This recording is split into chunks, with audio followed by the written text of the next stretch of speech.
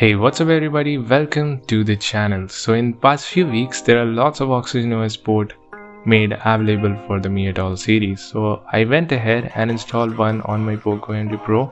This is OxygenOS 11 ported from the OnePlus 8 Pro by HelloBoy. In this video we will be taking a in-depth look of this port and also tell you how to install this ROM on your phone.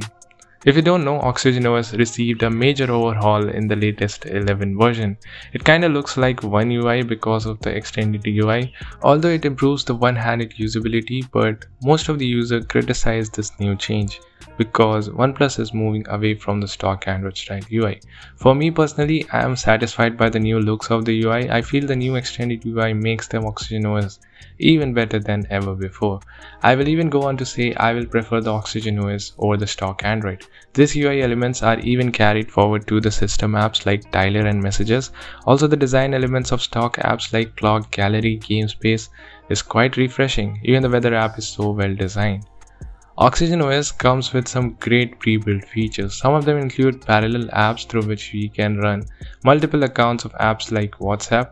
Then we have App Locker, which as the name suggests, used to lock the apps for security purpose. We also have some additional digital well-being features to reduce our mobile usage.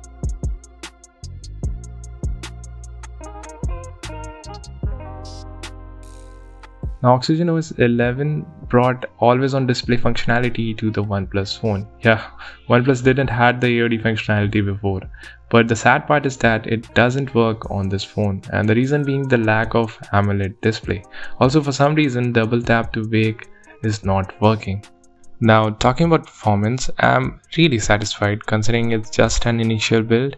Apps run pretty well on this one and I haven't faced any force close issues. The phone does feel a bit jittery on the first boot, but later on I figured out that it's because of the live wallpaper. I had even ran a couple of Geek benchmark and it got similar score as any other Android 11 ROMs.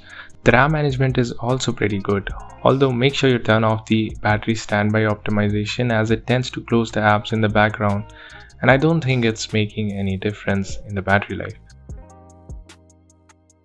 The battery life on this phone is not the best. You hardly get 10 hours of screen on time, but again 9 to 10 hours is still a pretty solid battery life. If you really care about the longer battery, you should check out some other Android 11 ROMs.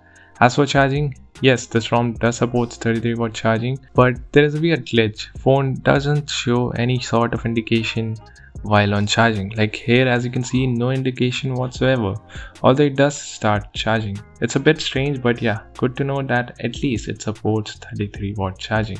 Other major problem with this ROM is the hotspot. Hotspot is broken so you can't share internet wirelessly. You need to rely on USB tethering for that. Wi-Fi and Bluetooth is working, even the phone calls through VoLTE is working through both the same. And yeah, carrier aggregation is also present here. This OxygenOS 11 port is pre-rooted, hence it fails the SafetyNet test and therefore some banking apps might not work on this ROM. Also there is no pre-installed camera app so you need to install third-party camera apps like Gcam and OpenCamera for clicking photos and videos. And that too, not all the G cams are working. I was able to run TRCam with only the primary camera working. So yeah, there are lots of niggles here and there, but considering this is the very first port, it is amazing, especially the performance of this ROM. So if you don't use the camera that much and can live with the dead hotspot, then definitely try out this port. Else, check out my other ROM videos. For installation, make sure you download all the required files from the description section. Now boot into the recovery and you need to perform a clean flash, so make sure you backed up everything beforehand. Now wipe data and cache and then flash the ROM zip file. Once done, flash the second file called the boot.zip and finally flash the Positron kernel. Now reboot to the system, the first boot might take a couple of minutes so yeah just settle down for a minute or so and you're done. So yeah, that's pretty much it. Do let me know what you think of this port and if you are facing any issues, then make sure to comment down below. Until then, thanks for watching. My name is Hrishav and I will catch you guys in the next one.